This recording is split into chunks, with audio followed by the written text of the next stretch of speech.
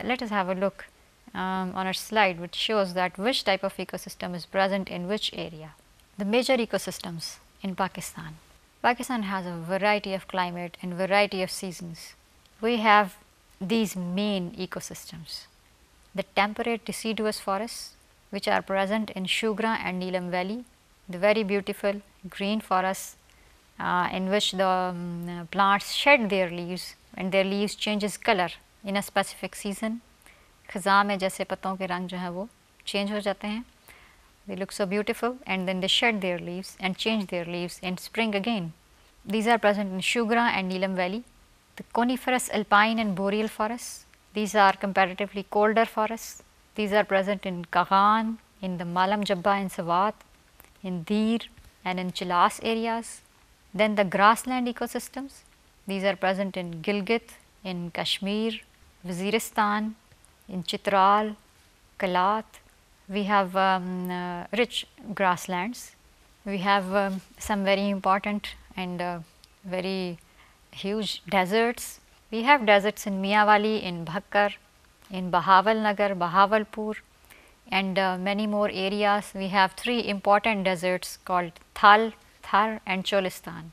Thal which is present in uh, on the uh, Mianwali Bhakkar side, Thar which is uh, present in the Sindh, the province of Sindh and uh, the Cholistan which is uh, the desert near Bahawalpur.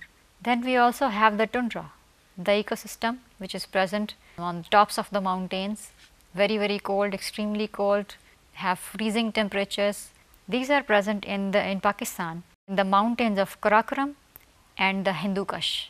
So it means that Pakistan is rich in ecosystems, in their types and in biodiversity because we have almost all types of climates and we have almost all types of the weathers, the seasons.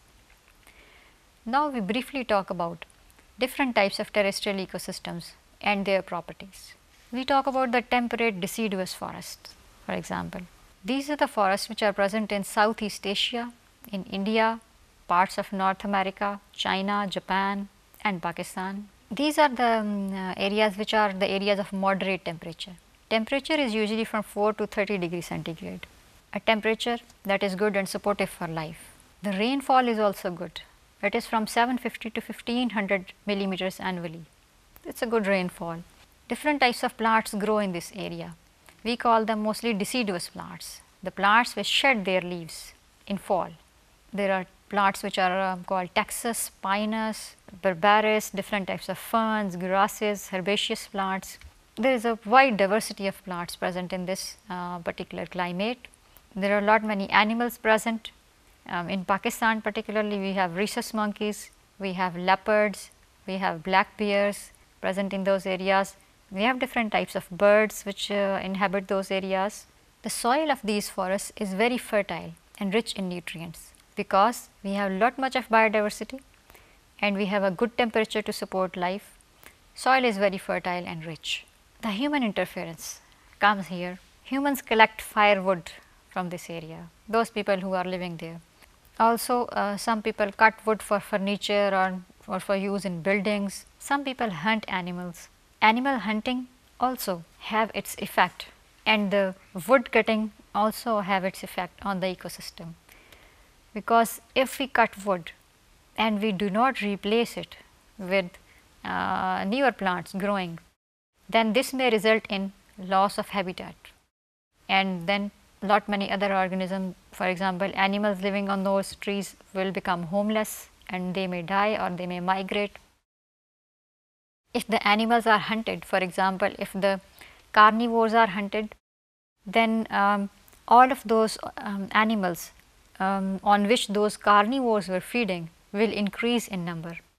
When they increase in number they may um, uh, kill more um, uh, small animals or maybe they eat upon all the grass of that uh, particular part of ecosystem.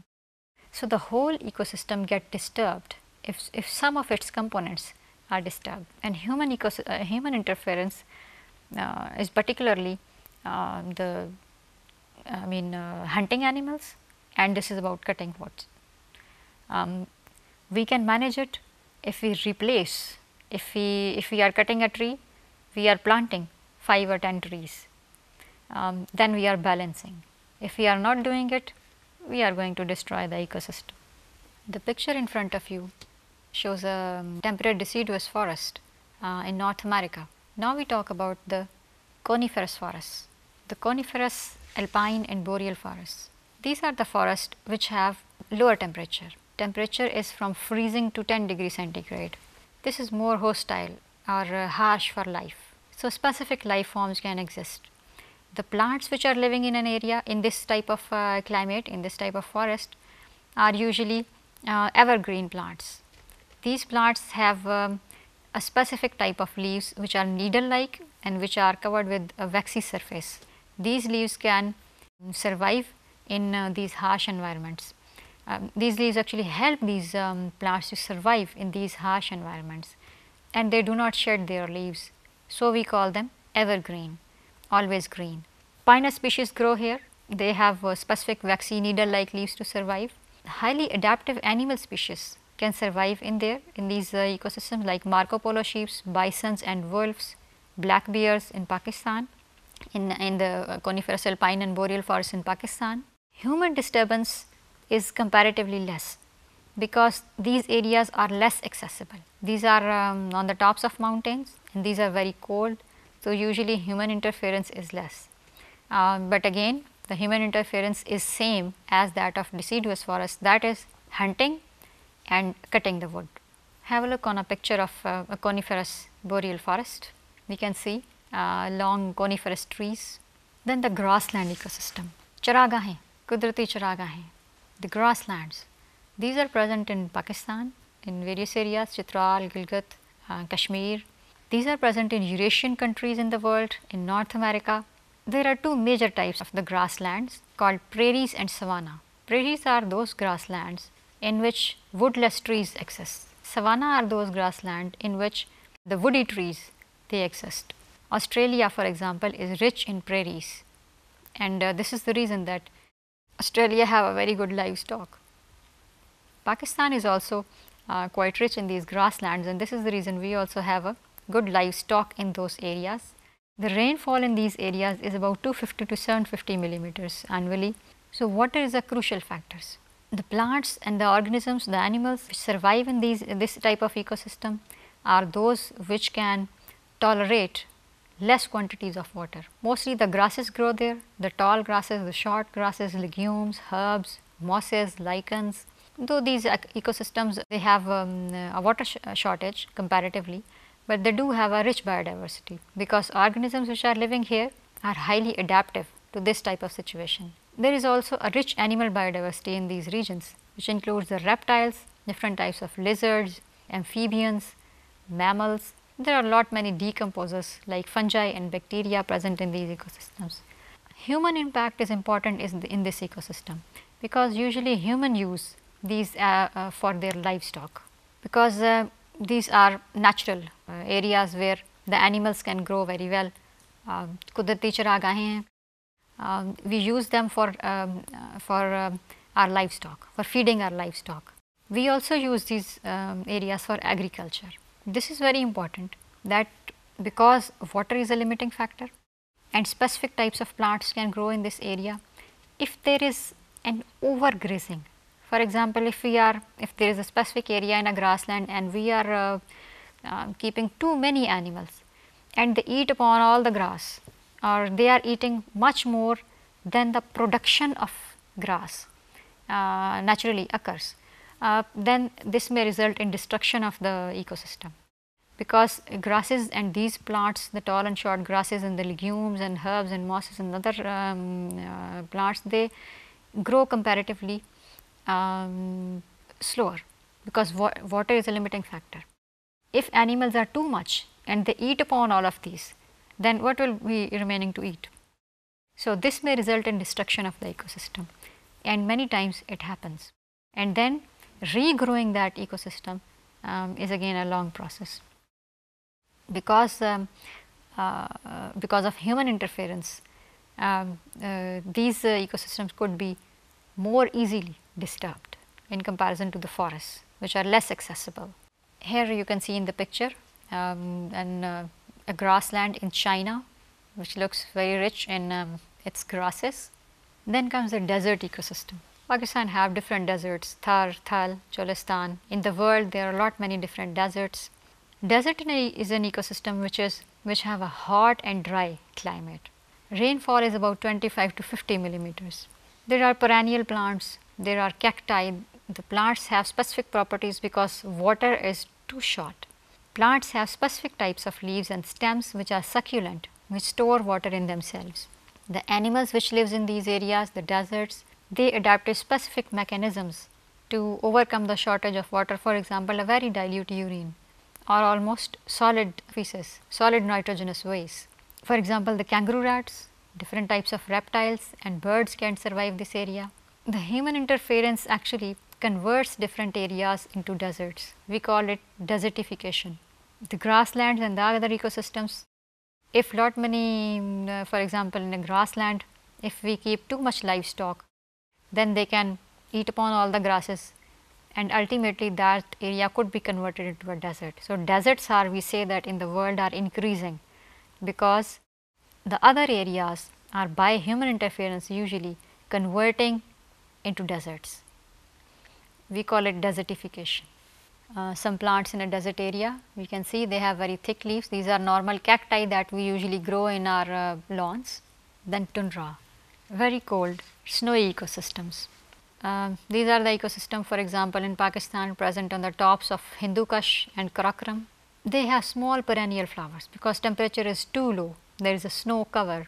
In this, these areas in small perennial plants, mosquitoes grow very well and birds are also present in um, quite larger quantities because they feed upon the uh, mosquitoes. There are white bears, there are foxes, there are snow or um, snow leopards for example. Human interference is less. In this ecosystem, human interference can very easily destroy the whole ecosystem, but fortunately these areas are not in excess of human beings. There are few people which can go in these areas and disturb them. So, this is a fortunate uh, happening that these are not very accessible. Let us have a look on pictures, some pictures of tundra.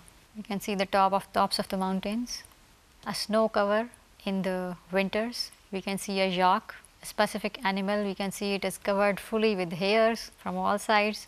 White bears also survive in this ecosystem. White bears also have lot much hairs and a thick layer of fat on their body which protect them from cold.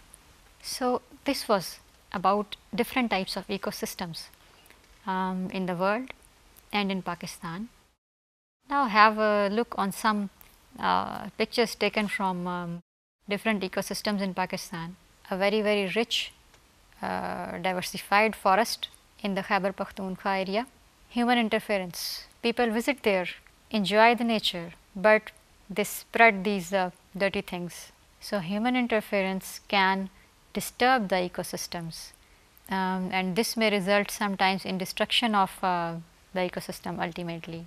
You can see another effect of human interference. Monkeys which are present actually in lower areas, they come up towards mountains because human beings provide them food and this result in leopards coming behind these monkeys on the tops towards human places because these uh, leopards then because monkeys come up they do not have food and they follow monkeys and they come up और फिर वो हमारी बकरियां खा जाते हैं you can see monkeys playing but there is too much of dirt another uh, effect of human beings black bear which was present in um, quite uh, large numbers in um, these forests but now this become extinct due to hunting because of its beautiful fur. People killed it. And now it is um, it is extinct. This is not present in uh, in that particular area.